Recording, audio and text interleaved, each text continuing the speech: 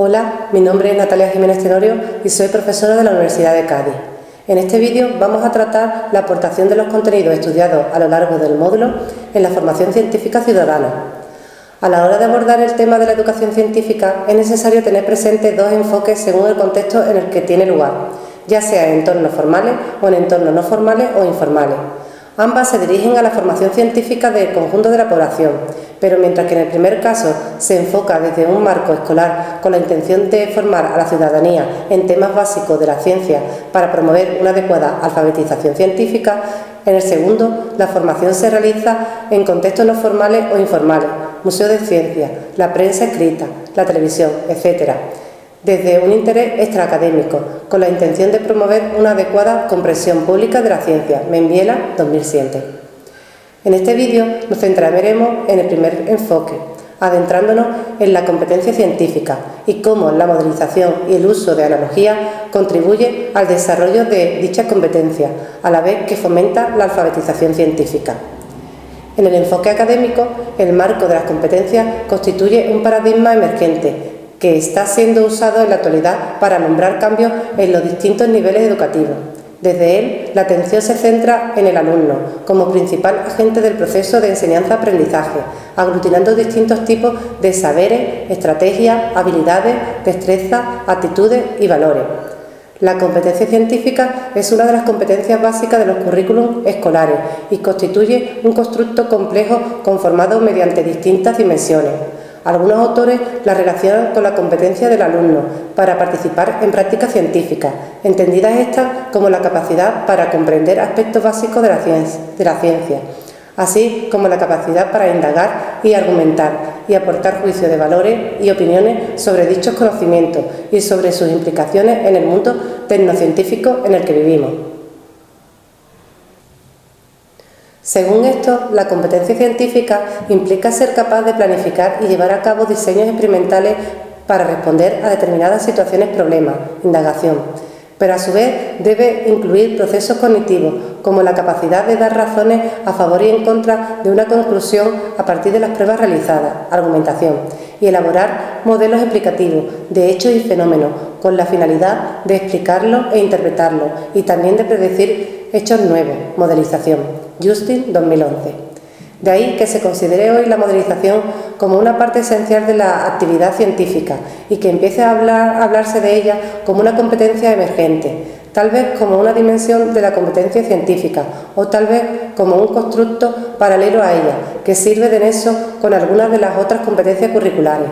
Se relaciona también con la adquisición de actitudes científicas y escalas de valores sobre la naturaleza de la ciencia y las complejas relaciones de contextualizar la ciencia.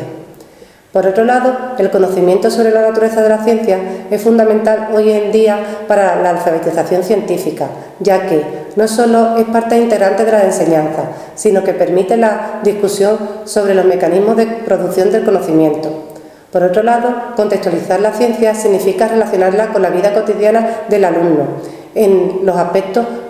personal, profesional y social. En este sentido,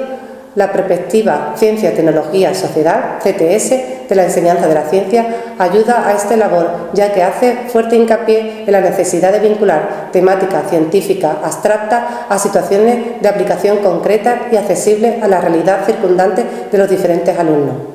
En definitiva, esta competencia supone el desarrollo y aplicación del pensamiento científico-técnico para interpretar la información que se recibe y para predecir y tomar decisiones con iniciativa y autonomía personal en, un mundo en el que los avances que se van produciendo en el ámbito científico y tecnológico tienen una influencia decisiva en la vida personal, en la sociedad y en el mundo natural. Por tanto, promover dicha competencia contribuye a la formación de ciudadanos críticos que puedan valorar de manera fundamentada la información que recibe y participar activamente en las decisiones políticas y sociales.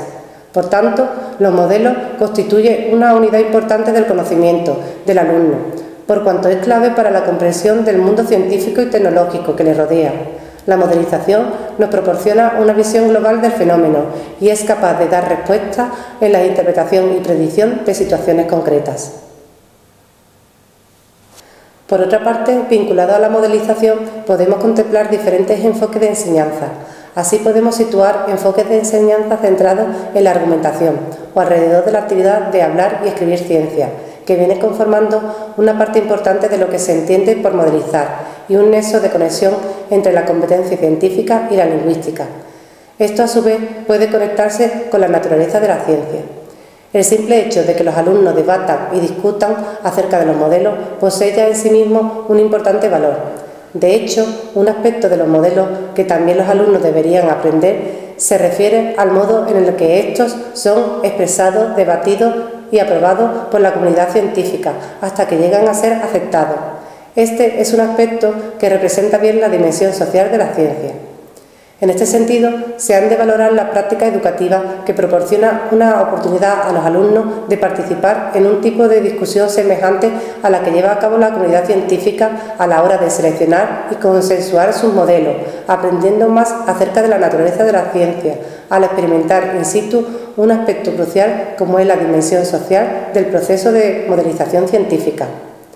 Se trataría, por tanto, de aprender no solo los modelos de ciencia escolar, sino también las capacidades para trabajar con ellos, elaborarlos y revisarlos, así como hablar y opinar acerca de estos, entendiendo su valor, su utilidad, su carácter aproximativo y cambiante y también sus limitaciones. Un solo modelo no pretende representar la realidad en todos sus detalles, sino solamente aquellos más significativos. Un solo modelo no consigue dar cuenta de todas las fases del fenómeno, pero la articulación de los diferentes modelos con sus características y limitaciones conseguirán tener una visión más cercana al fenómeno que acontece. Otro enfoque de enseñanza que se puede vincular a la modelización puede ser los enfoques de enseñanza basados en la indagación. De este modo, los procesos de indagación se dirigen a la formulación y o contrastación de modelos, para lo cual es preciso utilizar en, en unos casos datos experimentales, mientras que en otros se prefiere el uso de modelos analógicos, el desarrollo de experimentos mentales o el empleo de simulaciones por ordenador. De ahí que se consideren como recursos propios de este enfoque el uso de analogía, maquetas o entornos digitales y laboratorios virtuales, conectando así con la competencia digital y el uso de las tecnologías de la información y la comunicación. TIC.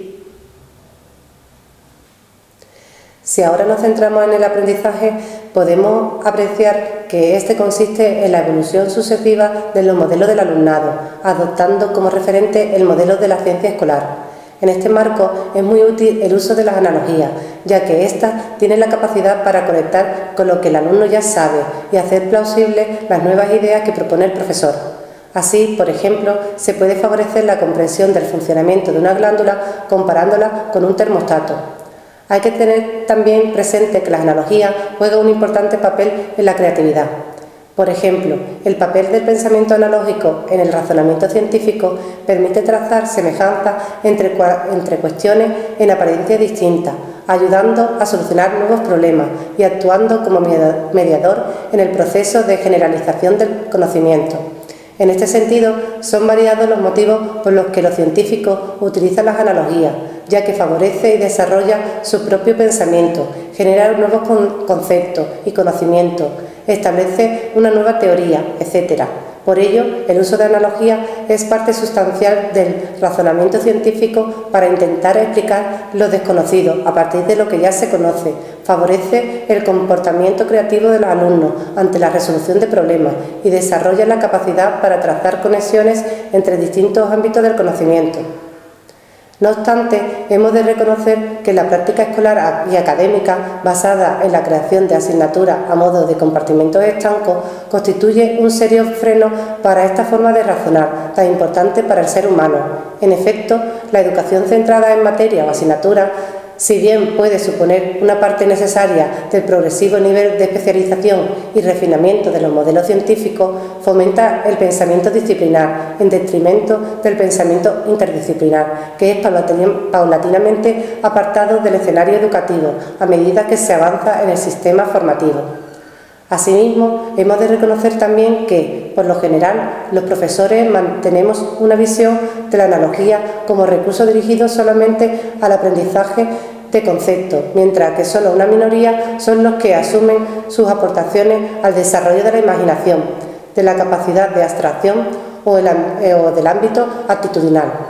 En resumen, podríamos decir que el sistema educativo debe dirigirse hacia la formación científica básica de la ciudadanía en la alfabetización científica, es decir, orientar la enseñanza de la ciencia para que sea útil en la vida actual y futura del conjunto de la población y que no solo tenga sentido dentro de la propia institución escolar, Membiela 2007. Esto nos da pie a dar paso al siguiente vídeo dedicado a la divulgación científica en contextos no reglados. Muchas gracias por su atención.